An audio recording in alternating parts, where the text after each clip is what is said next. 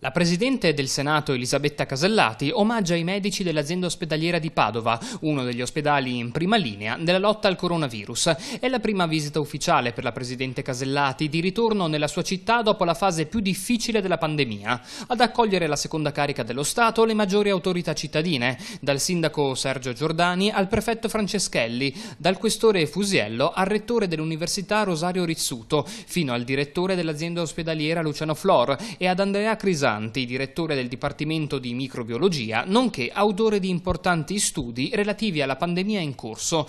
Dopo due mesi di lockdown trascorsi a Roma, Elisabetta Casellati torna a Padova con parole di apprezzamento e stima per il lavoro svolto dal personale sanitario. Sono qui per dire il grazie mio e degli italiani. Padova è un modello per il Veneto, per l'Italia, ma per il mondo, sia da un punto di vista dell'organizzazione che ha saputo fare, sia da un punto di vista della ricerca, che è una ricerca avanzata. Io mi auguro che da qui eh, per il bene dei nostri cittadini eh, ci sia o si scopra quella che possa essere la terapia e, eh, e anche il, speriamo il vaccino. Nel chiostro dell'ospedale Giustinianeo la Presidente Casellati ha portato il suo saluto direttamente a medici ed infermieri. Oltre ai ringraziamenti, la promessa di un riconoscimento maggiore. Il Senato, ha dichiarato la Presidente, ha dato un segno importante sottoscrivendo un disegno di legge per istituire una giornata dei camici bianchi.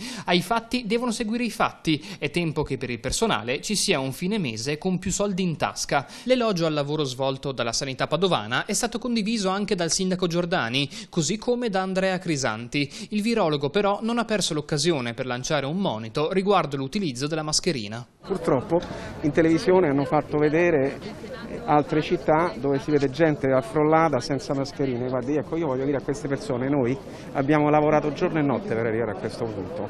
È veramente un delitto sprecare il lavoro fatto e il punto in cui siamo stati. Ecco, questo è il messaggio che voglio dare.